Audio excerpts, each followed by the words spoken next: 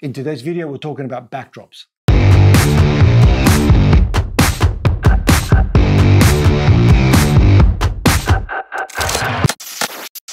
Hey everyone, welcome back to the channel. So today's video is going to be all about backdrops and I'm going to try and make this a no-nonsense video. I'm just going to give you the facts so that if you are looking to purchase your first backdrop, then uh, you'll have all the information that you need. So I think a backdrop is a really good investment if you're getting started in photography or you're looking to maybe move up a level uh, because a backdrop allows you to clear up the background of wherever, wherever it is that you're shooting. So you could be shooting in a garage or in a living room or in a bedroom and just putting up one of these uh, it clears up the entire background so that you may, it, it, might look like you're shooting in a studio. So it's a really good way uh, to up the quality of the photo uh, without really a, a, lot of money. Uh, the other thing that it does do is that when you put a backdrop, it becomes uh, particularly like a clear backdrop like one of these ones, then it becomes a lot easier for the viewer to just focus on what's on the screen. So it, just be the model or whatever, or if it's a product, then the eyes go straight for that subject because there's nothing else in the photograph uh, to interfere with that. Okay, so when it comes to backdrops, there's a lot of solutions available out there. Uh, they tend to fall under two categories though. The first one is uh, this. So these are paper backdrops, uh, paper rolls. And these have been around for ages. If you go into any studio, um, you're probably going to find something like this, uh, apart from a cyclorama. Um, but again, this is probably the most basic type and the most well-known and mostly used. The second one would be the fabric-based systems. So that's when you just get a couple of light stands, you put a cross beam across like this one here. Okay, uh, these beams expand. Okay, so you can make your backdrop as wide as this will go. And just using clamps, you hang your material from, uh, from the rod and you're done. And you don't need, although they make specific uh, backdrop material for that, the, the fabrics like muslin, uh, you don't need that. When I first got started, I used a bed sheet and that worked fine. Um, the other system that you've got available in the fabrics is the uh, pop-up ones and that's these ones here. So this is just like a giant reflector, except it, it's just, you know, it's massive. And, uh, and it, in this particular case, this is just a white, uh, a white backdrop.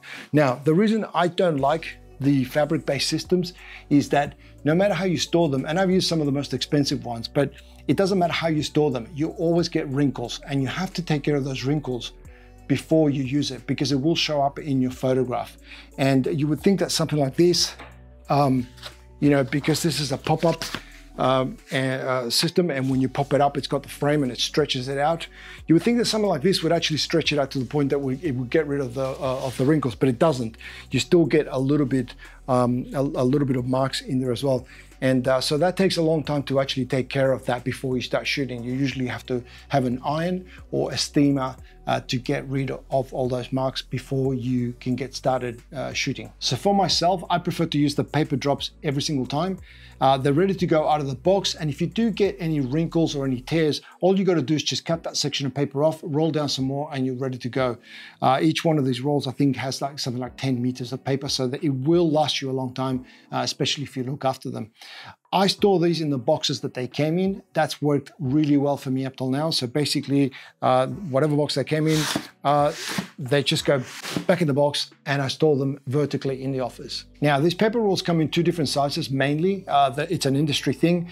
You get the smaller ones, which is what I've got here. This is a 1.36 meters, I think it is. So that's about that high there. And uh, you've also got the larger ones, which are about 2.7 meters or thereabouts.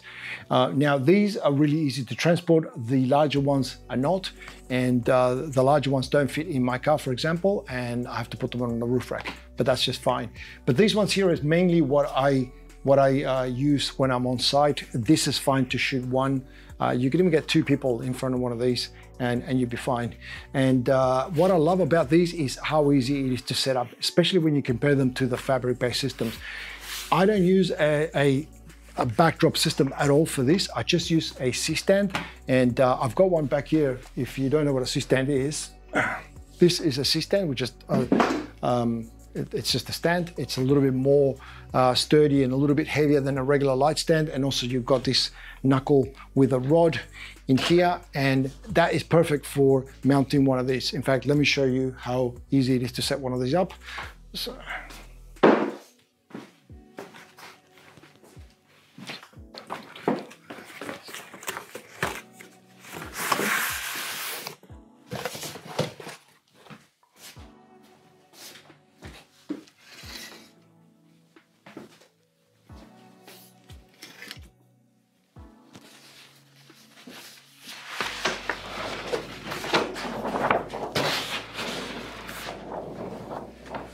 Okay, so that took about 30 seconds. It's up, it's ready to go, and I didn't need help from anyone else. And that's one of the reasons I like this setup. It just gets me going quickly and saves me time. Now, if I wanted to use one of the bigger uh, rolls, so one of the wider rolls, then one light stand would not be able to support that. You would need, what I would recommend is to get two C-stands and then just have one on either end uh, with the rods. That is going to hold your, uh, your backdrop very securely. Uh, otherwise, what you can do is you can just go and get a couple of light stands and get one of these rods that I showed you earlier. And then the rod just goes through the inside of the paper roll and you're pretty much ready to go. Now, uh, something that I just thought of is that one of the, uh, the other differences between this setup and the fabric uh, systems is that if you have a studio, sort of, sort of like what I've got here, which it's a small space and I'm not that far from my background. If I was to shoot, say, headshots or portraits in front of that backdrop there, and I was shooting at, say, f11 or f16, where I'm getting a lot in focus, if you use one of the fabric uh, based systems, potentially you could be picking up some of the texture in the fabric, which you probably don't want. With the paper, you're never going to uh, run into that problem because it's perfectly smooth. So that's something to keep in mind if you're going to go for a fabric-based system and you're working in a small space. You're probably not, you're probably going to be limited to shooting uh, at a lower f-stop so that you can blur the background so that you don't pick up the texture in the fabric. All right, so let's talk about colors now because that's one of the things that uh, when I first got started and I started uh, buying backdrops, um, my idea was to have this massive collection of all these different colored backdrops that I could use for all sorts of different things. And they can get expensive really, really quickly. So what I've worked out is a different way of doing it, and that's what I'm gonna show you now. So what I'm gonna do is I'm gonna uh, get rid of this background here and I'm gonna replace it with a gray one that I've got in here. So let me just go quickly change that and then I'll come back. Okay, so what I've done now is I've changed the backdrop to a dark gray backdrop. Uh, it probably looks black to you because there's not a lot of light uh, on the background, uh, but it is dark gray. Now, it is a neutral gray color. What that means is that it's got equal amounts of red, green, and blue. So when you mix red, green, and blue, uh, whether it be paints or colors or whatever, in equal amounts, you will end up with a gray, a neutral gray, which means it doesn't have an overpowering uh, green or blue or red uh, on it. It is purely neutral. And the cool thing about those is that you can light them and they will pick up a color whatever color you light them with. Now you can't tell uh, from here because I've, but I've got a light behind me. Okay, let me just show you. Okay, so I've just got uh, an LED light there and I've got some gel in front of it as well. So there's some blue gel in here. I'm not sure if you can see that, but when I turn on that light, then if you look at the background, it's gonna pick up the color from the gel. So let me turn that on. Okay, and now I've got a blue background and I can do that because the backdrop is neutral gray. If that was a different color, if it already had a color, then it wouldn't work or you just end up with some random color. Now, this is a much more economical way to do this, to change backdrop colors than having to invest in different uh, different colored paper rolls. It's much cheaper to just get yourself a whole bunch of different gels, okay? And uh, you can light this with a flash as well. So that's usually how I do it. Um, and uh, just in front of your flash, you put some gel and all of a sudden that light now picks up the color of the gel and you've got a different colored background. And uh, you can get packs of these uh, for not a lot of money uh, as opposed to paper backdrops, which um, you know, you could probably get a collection of gels really for the same amount of uh, money that you spent on a paper roll. A lot easier to store as well. So overall, if you're just getting started and you want to experiment with different colored backgrounds, then what I would recommend is uh, get some gels spend some money on some gels, experiment with that and see uh, the kind of results that you get. Also, um, you can do things like gradients. So at the moment, there is a bit of a gradient around me. So you can see that it gets a little bit darker towards the edges of the backdrop uh, because I've got the light pointed straight at the middle. If I wanted to fill the whole frame with equal amounts of blue, then all I would have to do is move that background back and uh, or move uh, move the background further away from, from the light and that would fill it in. But it's, it's, a, it's a good creative way that you can go in and just add some different dynamics to uh, to your light. It doesn't have to be a glow like what I've got here. You could also move the light, for example, to the side. Okay, and now the gradient just looks a little bit different as well. I like the sort of gradient coming from the center of the picture going out, so that's why I have it this way, and then I just simply hide the light behind me, and uh, it's just a nice way uh, to be able to play around with colors. Uh, again, you can change that into, you know, different sort of colors. I've got yellows, I've got oranges, I've got greens. Uh, these come in all sorts of different colors. So that is what I would recommend to you before you start thinking about uh, getting a collection of different types of papers. And just before we go on, if I could ask you for a favor, if you're enjoying this video or you're finding it interesting, if you could click the like button, it would make a massive difference to me and the channel. And if you haven't subscribed, consider doing so. I make videos like this all the time to help you with your photography.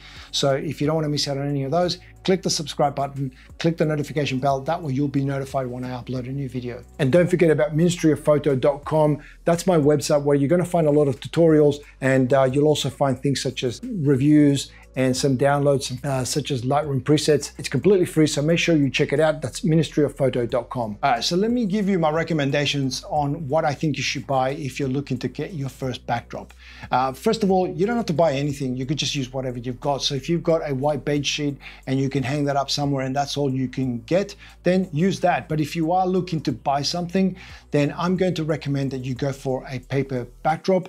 Um, I don't think that is going to come to you as a surprise. I think I've made it clear that I prefer paper. Uh, but I would recommend that you go for a neutral uh, color. And I'm going to suggest a light uh, neutral gray. Now this is a very specific neutral gray and I'll put a link in the description if you're interested in getting this one. It's made by a company called Savage and it picks up color really, really nicely when you light them with gels, but also on its own, it just looks really elegant. Uh, gray is one of those colors that just doesn't go out of style. So if you just need something quickly, this is just going to look really good on its own, even if you don't do anything like light it separately.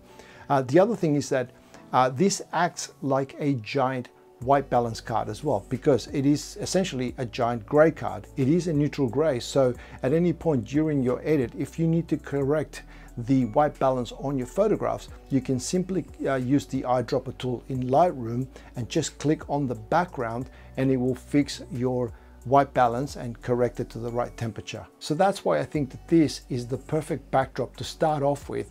If you haven't got anything and you're looking to get your first one, this is what I would recommend to people. And again, there'll be a link in the description if you're interested in purchasing one. So that's everything for this video. Um, I've had to move out of that room. That's why it looks a little bit different. But I did want to say that if you have any questions, the comment section below is the best place to leave your questions.